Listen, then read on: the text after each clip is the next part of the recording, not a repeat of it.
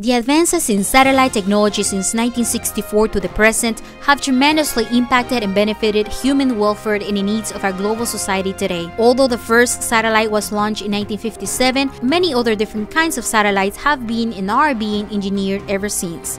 These satellites provide beneficial services to humanity such as the Global Positioning System, also known as GPS, worldwide communication broadcasting technologies, and weather forecasting. These engineering achievements contribute to human welfare by improving communications, preventing disasters, saving lives, and making life better.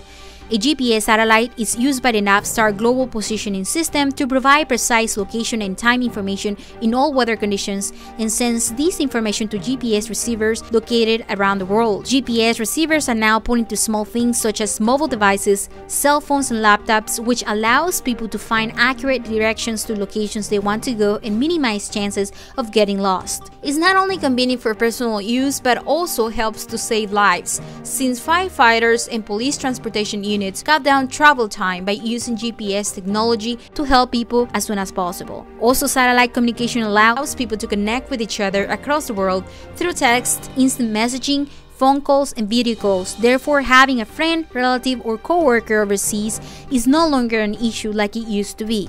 Another benefit of satellites is weather forecasting. Weather satellites played an important role in human welfare because it predicts and informs about upcoming weather conditions, storms, and hurricanes, so that people can anticipate and prepare themselves. Although satellites cannot avoid or stop these conditions from happening, the information provided by them can help prevent casualties and further damages. Lastly, satellites have changed the way we understand the universe, allowing us to orbit around the Earth to study and learn more about our own planet and our future.